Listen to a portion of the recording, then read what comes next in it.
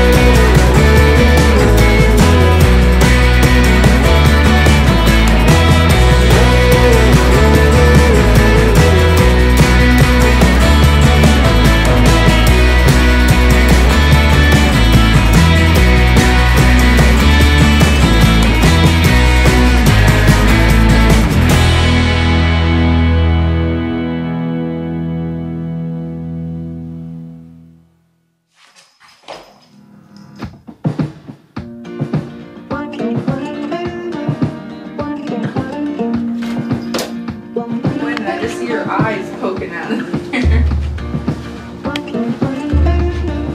you are too fat for that shit.